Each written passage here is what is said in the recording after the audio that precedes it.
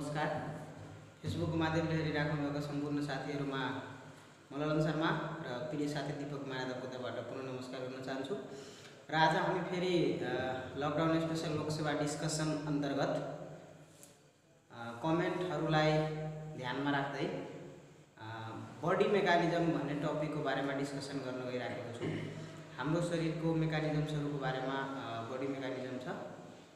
जसकोमा पहिला म सुरुमा होमियोस्टासिसको बारेमा भन्छु। होमियोस्टासिस भनेको एउटा प्रक्रिया हो। जुन प्रक्रियाद्वारा यदि बाहिरको वातावरणमा कुनै चेन्जेस आयो भने हाम्रो शरीरले पनि आफ्नो वातावरणमा इन्भाइरोमेन्टमा इन्टर्नल इन्भाइरोमेन्टमा चेन्ज ल्याएर बाहिरी वातावरणसँग मेन्टेन गर्छ त्यो प्रक्रियालाई होमियोस्टासिस भनिन्छ। होमियोस्टासिस भनेको एउटा प्रक्रिया हो। जुन प्रक्रियाबाट बाहिरी वातावरणमा कुनै पनि चेन्जेस आयो भने हाम्रो शरीरले पनि आफूमा चेन्ज ल्याएर मेन्टेन गर्छ त्यसलाई हामी भन्छौँ होमियोस्टासिस। जस्तै गर्मीयाममा इन्भाइरोमेन्टको टेम्परेचर बढ्दै जान्छ त हाम्रो बडीको टेम्परेचर अलिकति कम भएको हुन्छ। त्यस्तै जाडोयाममा बडी इन्भाइरोमेन्टको टेम्परेचर अलिक कम हुन्छ त हाम्रो बडी अलिकति तातो हुन्छ। त्यो एउटा होमियोस्टासिसको इक्जाम्पल हो। र यो होमियोस्टासिस प्रक्रियालाई नर्भस सिस्टमले मेनली कन्ट्रोल गर्छ। र नर्भस सिस्टमले यसलाई कन्ट्रोल गर्नको लागि दुईवटा मेकानिजम अप्नाउँछ। दुईवटा मेकानिजममा एउटा मेकानिजमको नाम हो नेगेटिभ फिडब्याक मेकानिजम र एउटाको नाम हो positive feedback mechanism. Negative feedback मेकानिजममा कुनै पनि कुरालाई घट्नु वा बढ्नु दुइटै आवश्यकता छ। भने त्यहाँ नेगेटिभ फिडब्याक मेकानिजम एप्लाई हुन्छ। जस्तै टेम्परेचर बढ्नुपर्ने छ भने बढ्छ घट्नुपर्ने छ भने घट्छ।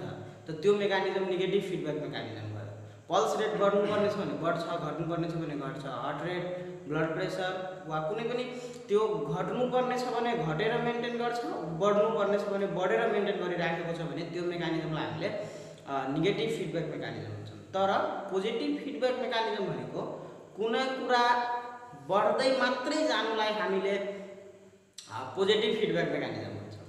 जस्तै ड्युरिङ लेबर युटेरसको कन्ट्राक्सन बिस्तारै बढ्दै जान्छ। बिचमा घटबड हुँदैन त्यहाँ घट्ने होइन यदि घट्यो भने त्यो ट्रु लेभल पे पेन मानिँदैन। त त्यो चाहिँ पोजिटिभ फिडब्याक मेकानिजम भयो। कुनै कुरा बढ्दै जानु बढ्दै गइराखेको छ आवश्यकता अनुसार त्यो पोजिटिभ फिडब्याक मेकानिजम भयो। र घटबड दुइटै हुन्छ भने त्यो नेगेटिभ फिडब्याक मेकानिजम यदि मेन्टेन गर्नको लागि घट्नुपर्ने छ भने घट्छ बढ्नुपर्ने छ भने बढ्छ त त्यो नेगेटिभ फिडब्याक मेकानिजम र मेन्टेन गर्नको लागि बढ्दै मात्रै जानु त्यो पोजिटिभ फिडब्याक मेकानिजम जस्तै during sexual intercourse penile erection बढ्दै जान्छ। वा महिला र पुरुषको इमोसनल स्टेज बढ्दै जान्छ। त्यो पोजिटिभ फिडब्याक मेकानिजम हो त्यस्तै ड्युरिङ ल्याक्टेसन जब आमाले बच्चालाई दुध चुसाइराखेको हुन्छन् त्यो बेला बिस्तारै मिल्कको एक्सक्रेसन बढ्दै जान्छ। त्यो पनि एउटा पोजिटिभ फिडब्याक मेकानिजमको इक्जाम्पल्स हो। अर्थात् यो इक्जाम्पल्सहरूबाट बुझिसक्नु होला। नेगेटिभमा मिलाउनको लागि मेन्टेन गर्नको लागि घट्न पनि सक्छ बढ्न पनि सक्छ तर पोजिटिभ फिडब्याक मेकानिजममा बढ्ने मात्रै हुन्छ। जुन जुन ठाउँमा बढ्नु मात्रै आवश्यकता छ त्यहाँ पोजिटिभ फिडब्याक मेकानिजम एप्लाई हुन्छ भने जुन ठाउँमा घट्नु र बढ्नु दुइटै आवश्यकता छ त्यहाँ नेगेटिभ फिडब्याक मेकानिजम एप्लाई हुन्छ। यो होमियोस्टासिसको दुईवटा मेकानिजम हो जुन मेकानिजम्सहरूबाट हाम्रो शरीरले बाहिरी वातावरण अनुसार हाम्रो शरीरको आफ्नो इन्टरनल इन्भाइरोमेन्ट मेन्टेन हुन्छ। यसलाई होमियोस्टासिस भनिन्छ। र अब हामी बडी मेकानिजमको मेनली कुरा गर्दाखेरि बडी मेकानिजममा हामीले दुईवटा कुरा बुझ्नुपर्छ। एउटा फ्लुड र इलेक्ट्रोलाइटको बारेमा र अर्को हाम्रो शरीरको पिएचको बारेमा। त फ्लुड र इलेक्ट्रोलाइटको बारेमा जानकारी गराउनको लागि म प्रिय साथी दिपकलाई अनुरोध गर्छु। धन्यवाद मेरो प्रिय साथी ललन शर्मालाई। र आज फेरि हामी दुईजना साथी तपाईँहरूको सामु उपस्थित भइसकेका छौँ। र कमेन्टको हामी कदर गर्छौँ। र धेरै खुसी लागेको छ तपाईँहरूको सकारात्मक प्रतिक्रिया। र यो कुरालाई ध्यानमा राख्दै मध्यनजर गर्दै हामी आज फ्लुड एन्ड इलेक्ट्रोलाइटको बारेमा केही छलफल गर्न गइरहेका छौँ। अब हामी सुरु गरौँ। यो फ्लुड जुन छ त्यो हाम्रो शरीरमा हाम्रो जुन हामी एडल्ट व्यक्ति छौँ त्यो एडल्ट व्यक्तिमा हाम्रो बडी वेटको जम्मा साठी प्रतिशत हुन्छ। जसलाई हामी रेन्जमा साठीदेखि सत्तर प्रतिशत लिन सकिन्छ। त्यसै गरी यो जुन फ्लुड छ तरल पदार्थ छ हाम्रो शरीरमा त्यो एज र सेक्सको अनुसार फरक फरक हुन्छ। यो कुरा हामीले बुझ्नुपर्छ। त्यसै भएर जुन न्यु बर्नहरू छ न्युनेट छ तिनीहरूमा बडी वेटको अस्सी प्रतिशत हुन्छ भनेपछि इन्फ्यान्ट र चाइल्डमा बडी वेटको सत्तर प्रतिशत त्यसै गरी हामी एडल्ट मेलमा साठी प्रतिशत त्यसै गरी एडल्ट फिमेलमा पचास पचास प्रतिशत बडी फ्लुड हुन्छ है। तर जुन व्यक्ति ओबे छ जुन व्यक्ति चाहिँ मोटापन छ अलिक मोटाएको छ त्यो व्यक्तिमा नर्मलभन्दा टेन प्रतिशत कम हुन्छ बडी फ्लुड जस्तै मानौँ म एउटा एडल्ट मेल छु भनेपछि मेरो मेरो शरीरमा मेरो बडी वेटको साठ प्रतिशत बडी फ्लुड हुनुपर्ने हो। तर म यदि मोटाएको छु धेरै भनेपछि मेरो बडी वेटको साठ प्रतिशत हुँदैन पचास प्रतिशत मात्र हुन्छ। त्यसै गरी मानव कुनै एउटा सीता नामको महिला छिन्। त्यो सीता नामको महिला यदि ऊ नर्मल छ भने उसको बडी वेटको पचास प्रतिशत बडी फ्लुड हुनुपर्ने हो। तर त्यो सीता यदि ओबे छिन् मोटाएको छिन् भनेपछि उसको बडी वेटको पचास प्रतिशत बडी फ्लुड हुँदैन चालिस प्रतिशत मात्र हुन्छ है? अब यति कुरा भनिसकेपछि म अलि चर्चा गर्छु यो फ्लुडको टाइपको बारेमा किसिमको बारेमा। यो फ्लुड जम्मा दुई किसिमको हुन्छ दुई प्रकारको हुन्छ जसले हामी इन्ट्रासेलुलर र एक्स्ट्रासेलुलर गरेर दुई भागमा बाँडिन्छ। इन्ट्रासेलुलर फ्लुड भनेको जुन हाम्रो सेलभित्र पाउँछ जुन हाम्रो सेलभित्र अवस्थित हुन्छ रहेका हुन्छ त्यसलाई हामी इन्ट्रासेलुलर फ्लुड भन्छौँ।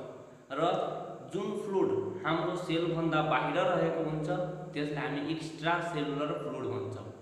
मैले अघि नै कुरा गरेको थिएँ हामी एडल्ट व्यक्तिमा एभरेजमा हाम्रो बडी वेटको साठ प्रतिशत फ्लुड हुन्छ हो। साठ प्रतिशत फ्लुड हुन्छ। यो साठ प्रतिशत फ्लुडमा केही इन्ट्रासेलुलर पनि हुन्छ भनेपछि केही एक्स्ट्रा सेलुलर पनि हुन्छ।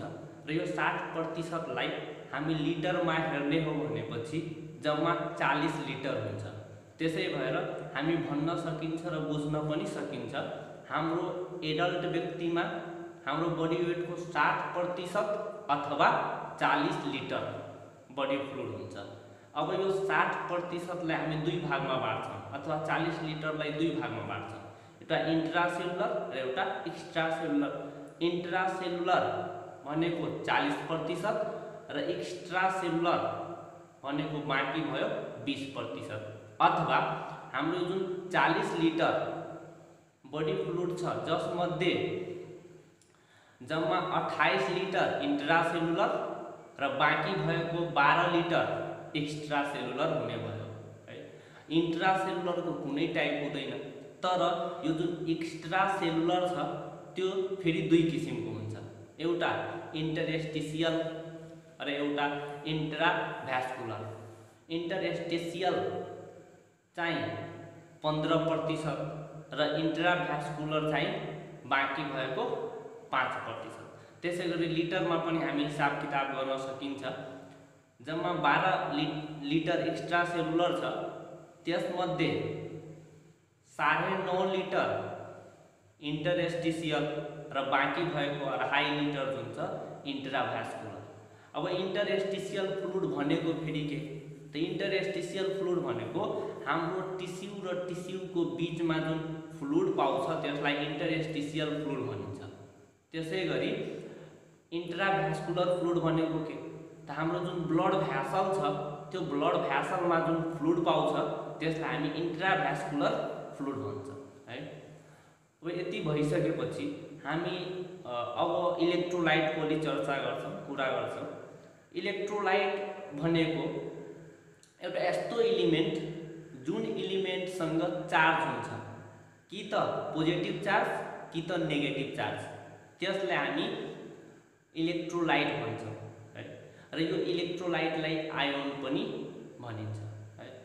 त कुनै पनि इलेक्ट्रोलाइट छ जुन इलेक्ट्रोलाइटसँग कि त पोजिटिभ चार्ज हुन्छ कि त नेगेटिभ चार्ज हुन्छ। यदि पोजिटिभ चार्ज छ भने त्यसलाई क्याट आयोन भन्छौँ हामी। र यदि उसँग कुनै पनि इलेक्ट्रोलाइटसँग नेगेटिभ चार्ज छ भने त्यसलाई हामी एनायोन भन्छौँ।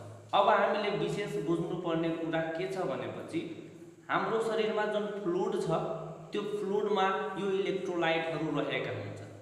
अब हाम्रो कुन फ्लुइडमा कुन इलेक्ट्रोलाइट सबैभन्दा बढिरहेका हुन्छन् यो कुरा लोकसेवामा एकदम धेरै सोधिराखेका छन् धेरैचोटि सोधिसकेका पनि छन्।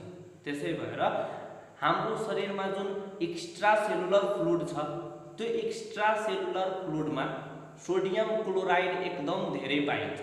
अब यो सोडियम क्लोराइडमा सोडियम क्याट आयोन भयो है? किनभने सोडियमसँग पोजिटिभ चार्ज हुन्छ। र यो जुन क्लोराइड छ त्यो क्लोराइड एन आयोन भयो किन भनेपछि क्लोराइडसँग नेगेटिभ चार्ज छ।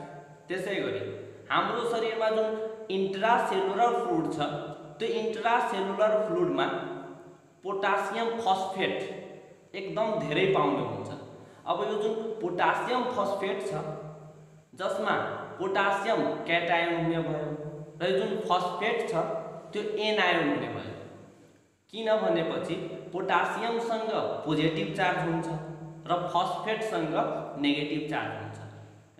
यति भइसकेपछि हामीले एउटा कुरा अझै बुझ्नुपर्छ हाम्रो शरीरमा जबसम्म हाम्रो बडी वेटको हिसाबले फ्लुड छ नर्मल छ तबसम्म हाम्रो स्वास्थ्य अवस्था हाम्रो चाहिँ हेल्दीपना रहिरहन्छ। जब हाम्रो शरीरमा एभरेजभन्दा बढी फ्लुड कम भइहाल्छ अथवा बढी भइहाल्छ तब हामीमा समस्याहरू देखा पर्न थाल्छ हामीमा प्रब्लमहरू देखा पर्न थाल्छ। मिन्स जबसम्म हाम्रो बडी वेटको साठ प्रतिशत फ्लुड छ तबसम्म हामी नर्मल हुन्छौँ। जब यो साठ प्रतिशतभन्दा कम भइहाल्छ तब हामीमा समस्याहरू डिहाइड्रेसनमा हामी जाने डायरियाहरू हुने त्यस्तो चाहिँ हुन्छ।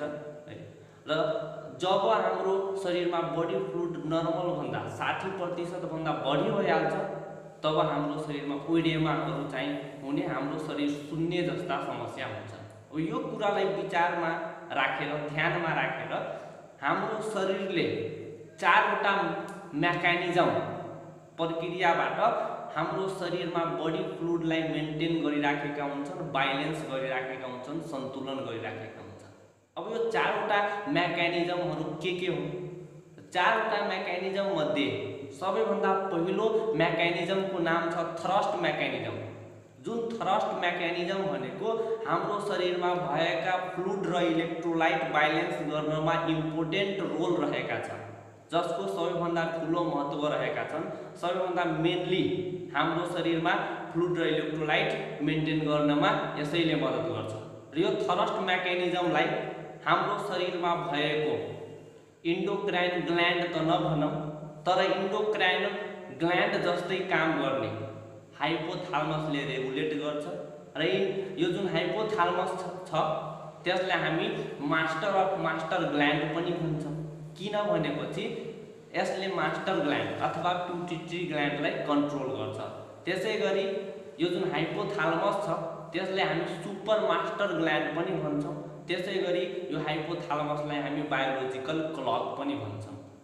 है अब यति भन्दै अर्को मेकानिजम जसलाई हामी ओस्मो रेसेप्टर मेकानिजम भनेर भन्छौँ। यो जुन ओस्मो रेसेप्टर मेकानिजम छ त्यो ओस्मो रे रेसेप्टर मेकानिजमले पनि हाम्रो शरीरमा इलेक्ट्रोलाइट अथवा फ्लुइडलाई ब्यालेन्स गरिराखेका हुन्छन् नियन्त्रण गरिराखेका हुन्छन् है? र यो ओस्मो रेसेप्टर मेकानिजममा प्युट्युटरी ग्ल्यान्ड जुन हाम्रो छ त्यसले यसलाई कन्ट्रोल गर्छ। तर हाम्रो शरीरमा भएको किडनीले यो मेकानिजमलाई रेगुलेट गर्छ है? सञ्चालन गर्छ। त्यसै गरी तिन नम्बरमा छ अल्डोएस्ट्रोन फिडब्याक मेकानिजम है? त यो अल्डोएस्ट्रोन फिडब्याक मेकानिजमले पनि हाम्रो शरीरमा फ्लुइड र इलेक्ट्रोलाइटलाई ब्यालेन्स अथवा सन्तुलन गर्ने गर्दछ जस्तै सोडियम र पोटासियम। यो दुइटैलाई मेन्टेन गर्ने गर्दछ सन्तुलन गर्ने गर्दछ ब्यालेन्स गर्न गर्दछ। त्यसै गरी लास्टमा पराथर्मन मेकानिजम यो पराथर्मन मेकानिजमले पनि हाम्रो शरीरमा क्याल्सियमको लेभललाई सन्तुलन गरेर ब्यालेन्स गरेर इलेक्ट्रोलाइट अथवा अथवा फ्लुइडलाई ब्यालेन्स गर्ने गर्दछ। अब मैले फ्लुइड एन्ड इलेक्ट्रोलाइट्सको बारेमा विशेष जानकारी गराइसकेको छु। अब हाम्रो शरीरमा पिएचको बारेमा र पिएचसँग रिलेटेड जति पनि लोकसेवामा सोध्ने क्वेसनहरू छन् त्यो सबैको बारेमा स्पष्ट पारिदिनको लागि म मेरो प्रिय साथी ललन शर्मालाई हार्दिक अनुरोध गर्दछु। धन्यवाद साथीलाई। उहाँले फ्लुड र इलेक्ट्रोलाइटको बारेमा तपाईँहरूलाई जानकारी गराइसक्नु भयो। र अब हामी यो बडी मेकानिजमको दुईवटा कुरा यसमा पढ्नुपर्ने हुन्छ। फ्लुड र इलेक्ट्रोलाइट र अर्को भनेको पिएच जसमध्ये तपाईँहरूलाई बडी मेका फ्लुड र इलेक्ट्रोलाइटको बारेमा थाहा पाइसक्नु भयो र पिएचको कुरा गर्दाखेरि सबैभन्दा पहिला हाम्रो शरीरको ह्युमन बडीको मा रहेको ब्लडको जसलाई हामी शरीरकै सिस्टमिक पिएच भनेर भन्छौँ त्यो सेभेन पोइन्ट थ्री फाइभदेखि लिएर सेभेन पोइन्ट फोर फाइभ हुन्छ। यो नर्मल पिएच हो हाम्रो शरीरको यतिभित्र सेभेन पोइन्ट थ्री फाइभदेखि लिएर सेभेन पोइन्ट फोर फाइभको बिचमा रहन्छ। यदि सेभेन पोइन्ट थ्री फाइभभन्दा कम भयो भने हामीलाई एसिडोसिस हुन्छ। भन्ने सेभेन पोइन्ट फोर फाइभभन्दा बढी भयो भने हामीलाई अल्कालोसिस हुन्छ। भन्नुको अर्थ सेभेन पोइन्ट थ्री फाइभदेखि सेभेन पोइन्ट फोर फाइभको बिचमा पिएच रहनु पऱ्यो। यदि घटबड भयो भने हामीलाई समस्या आउँछ। र त्यस्तै यदि त्यो सेभेन पोइन्ट थ्री फाइभभन्दा घट्दै घट्दै गएर यदि सिक्स पोइन्ट एटभन्दा कम भइहाल्यो भने एसिडोसिसको कारणले गर्दा हामी रो मृत्यु हुन्छ। सिक्स पोइन्ट एटभन्दा कम भयो भने एसिडोसिसले गर्दा मृत्यु हुन्छ भने त्यस्तै सेभेन पोइन्ट एटभन्दा बढी भयो भने अल्कालोसिसले गर्दा मृत्यु हुन्छ। यो हाम्रो नर्मल पिएच र कतिमा हामीले कतिभन्दा कम भयो भने एसिडोसिस अल्कालोसिस वा मृत्यु हुन्छ भन्ने कुरा जानकारी भयो। अब यो जुन नर्मल पिएच छ हाम्रो शरीरको सेभेन पोइन्ट थ्री फाइभदेखि सेभेन पोइन्ट फोर फाइभ त्यसलाई मेन्टेन गर्नको लागि हाम्रो शरीरका विभिन्न अर्गेनहरूले तिनवटा मेकानिजमको माध्यमले हाम्रो शरीरको पिएचलाई मेन्टेन गरेको छ। जस्तै साथीले नर्मल साठी पर्सेन्ट फ्लुड थियो त्यसलाई मेन्टेन गर्नको लागि चारवटा मेकानिजमको बारेमा भन्यो। त्यस्तै पिएचलाई मेन्टेन गर्नको लागि पनि तिनवटा मेकानिजम छ। त्यो मेकानिजम्सहरूको बारेमा भन्न चाहन्छु।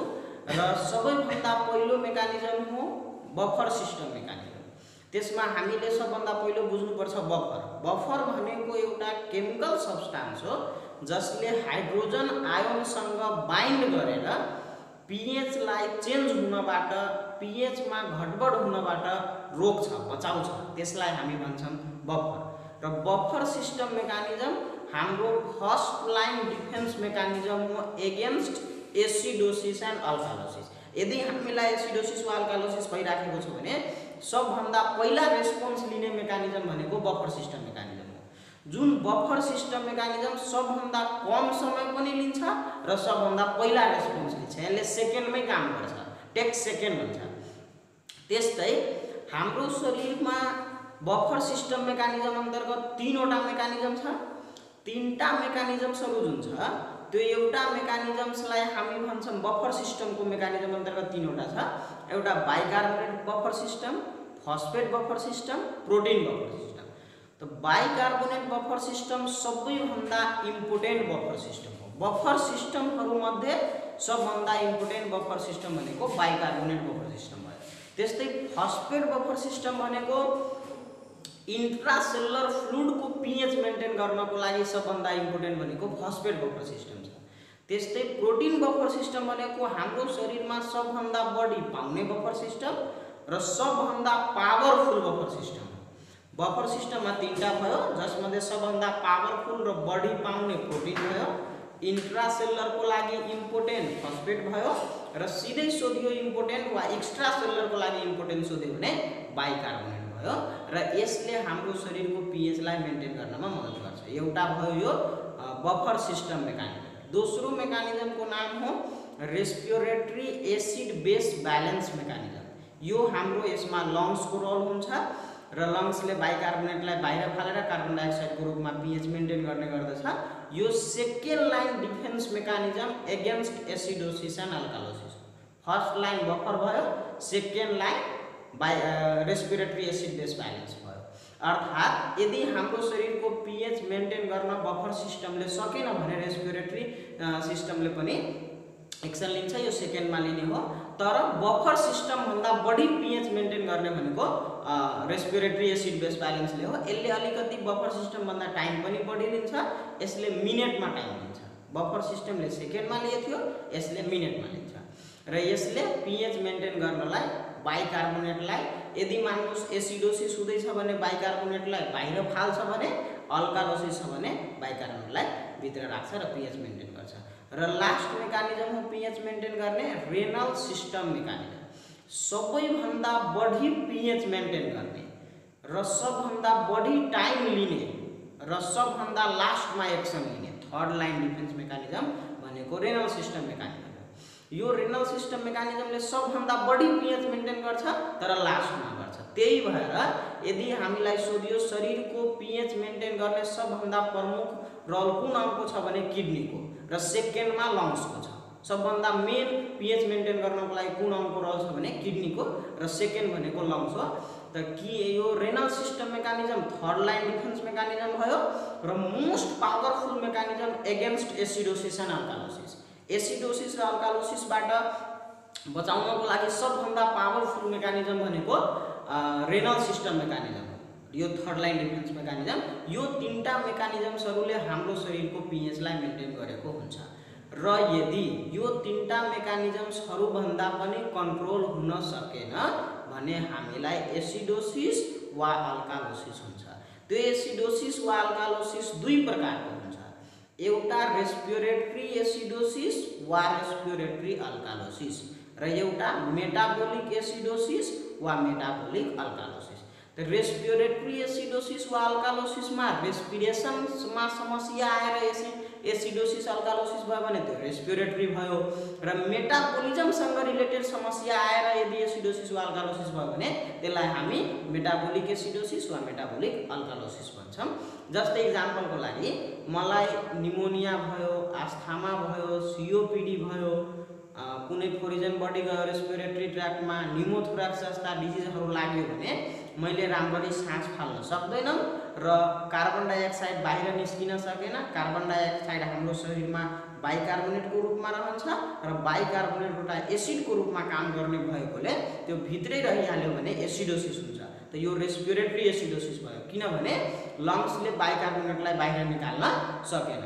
त यो जुन अहिले कारणहरू भने यो एकदम इम्पोर्टेन्ट रोगहरू जस्तै सोधियो निमोनिया आस्थामा सिओपिडी निमोथोराक्समा के हुन्छ चारवटा अप्सन दिइदिन्छ भने रेस्पिरेटरी एसिडोसिस। यो मेडिसिनको पनि क्वेसन हुन्छ र बडी मेकानिजमको पनि क्वेसन भइहाल्छ। त यो रेस्पिरेटरी एसिडोसिसमा भयो।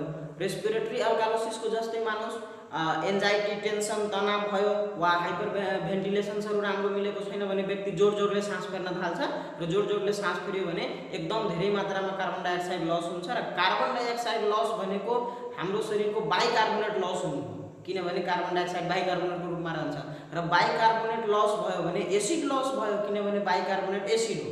र एसिड लस भयो भने हामीलाई अल्कालोसिस हुन्छ। त यो दुईवटा रेस्पिरेटरी एसिडोसिस र रेस्पिरेटरी अल्कालोसिस भयो। रेस्पिरेटरी एसिडोसिसमा हाम्रो शरीरको पिएच सेभेन पोइन्ट थ्री फाइभभन्दा कम हुन्छ भने कार्बन डाइअक्साइडको प्रेसर पैँतालिस एमओबेजीभन्दा बढी भएको हुन्छ। त्यस्तै रेस्पिरेटरी अल्कालोसिसमा हाम्रो शरीरको पिएच सेभेन पोइन्ट फोर फाइभभन्दा बढी र कार्बन डाइअक्साइडको पिएच पैँतिस एमओबेजीभन्दा कम भएको हुन्छ। र यो रेस्पिरेटरीको भयो यसको कारणहरू इम्पोर्टेन्ट छ त्यो कारण याद गर्नु होला अल्कालोसिसको कारण एकदमै इम्पोर्टेन्ट छ। र सरी एसिडोसिसको र अल्कालोसिसमा हाइपोभेन्टिलेसन्सहरू जस्ता कारणहरू छ। र एउटा याद गर्नु होला यसको कारणमा फिभरमा के हुनसक्छ भने रेस्पिरेटरी अल्कालोसिस हुन्छ। र त्यस्तै मेटाबोलिक एसिडोसिसको कुरा गर्दाखेरि मेटाबोलिजमसँग रिलेटेड समस्याहरू आएर यदि एसिडोसिस वा अल्कालोसिस भयो भने त्यसलाई मेटाबोलिक एसिडोसिस वा अल्कालोसिस भन्छ। मेटाबोलिक एसिडोसिसमा पनि हाम्रो शरीरको पिएच सेभेन पोइन्ट थ्री फाइभभन्दा कम भएको हुन्छ। र जस्तै मान्नुहोस् डायरिया भयो त त्यस्तोमा हामीलाई मेटाबोलिक एसिडोसिस हुन्छ। र डायरिया यो कारण एकदम इम्पोर्टेन्ट छ। डायरियामा के हुन्छ सोध्यो भने मेटाबोलिक एसिडोसिस हुन्छ। त्यस्तै मेटाबोलिक अल्कालोसिसको कुरा गर्ने भने भोमेटिङ भयो त भोमेटिङमा हाम्रो शरीरबाट एसिड लस हुन्छ एसिएलहरू लेस वा ग्यास्ट्रिक लभाज गराइन्छ ग्यास्ट्रिक सक्सनिङ गराइन्छ होइन? त्यस्तोहरू छ भने त्यस्तोमा हाम्रो मेटाबोलिक अल्कालोसिस हुनसक्छ। यो मेटाबोलिक अल्कालोसिस र मेटाबोलिक एसिडोसिसको कारणहरू मेन कुरा फोकस गर्ने मेटाबोलिक अल्कालोसिसको मेन कारण हामीले याद गर्नुपर्ने भयो। भोमेटिङ भोमेटिङमा के हुन्छ? मेटाबोलिक एसिडोसिस हुन्छ। र डायरियामा के हुन्छ मेटाबोलिक डायरियामा मेटाबोलिक एसिडोसिस हुन्छ र भोमिटिङमा मेटाबोलिक अल्कालोसिस हुन्छ यो याद गर्ने। र अर्को रेस्पिरेटरीको कारणहरूमा त्यही सिओपिडी निमोनिया निमोथोरक्स जस्तामाहरू याद गर्ने कारणहरू इम्पोर्टेन्ट भयो र एउटा फिभर याद गर्ने जसमा रेस्पिरेटरी अल्कालोसिस थियो। किनभने फिभरमा पल्स रेट बढ्छ पल्स रेट बढ्यो भने रेस्पिरेसन रेट बढ्छ र रेस्पिरेसन रेट बढ्यो भने कार्बन डाइअक्साइड बढी निस्किन्छ निस्केको कारणले गर्दा हुन्छ। त यो कमन कारणहरू जुन याद गर्नुपर्ने छ त्यसको बारेमा। अब यसमा धेरै कुराहरू छ तर हामीलाई चाहिने इम्पोर्टेन्स कुराहरूको बारेमा जानकारी गराए। र यो तपाईँहरूले हेरेर यसलाई सेयर गरिदिनुहुन्छ आफ्नो सल्लाह सुझावहरू राखिदिनुहुन्छ भन्ने आशा पनि छ। र यो भिडियो हाम्रो अब युट्युब च्यानल पनि मेरो च्यानल ललन शर्मा र साथीको च्यानल दिपक कुमार यादवमा पनि आइराखेको छ। त्यो च्यानललाई पनि हेर च्यानलमा पनि युट्युबमा पनि हेर्न सक्नुहुन्छ। च्यानललाई भिडियोलाई लाइक गरेर च्यानललाई सब्सक्राइब गरिदिनुहुन्छ बेल आइकन हिट गरिदिनुहुन्छ भन्ने आशा छ। भन्दै आजको भिडियो यही समाप्त हुन्छ हस्त धन्यवाद। धन्यवाद र म एउटा कुरा फेरि चाहन् भन्न चाहन्छु। युट्युबमा गएर तपाईँले फेसबुकमा राखेको यो भिडियोलाई डाउनलोड गर्न मिल्दैन तर तपाईँ आफूसँग राख्नु छ र जहिले पनि याद नभएको खण्डमा अथवा केही कन्फ्युजन भएको खण्डमा अथवा केही बिर्सेको खण्डमा तपाईँले एउटा रेफरेन्सको रूपमा हाम्रो युट्युब च्यानललाई सब्सक्राइब गरेर लाइक गरेर र त्यहाँबाट सेयर गरेर त्यो हाम्रो सपोर्ट गर्नुभयो। तर तपाईँ आफ्नो सपोर्टको लागि आफ्नो सजिलोको लागि त्यहाँबाट डाउनलोड पनि गर्न सक्नुहुन्छ। यति भन्दै हस्।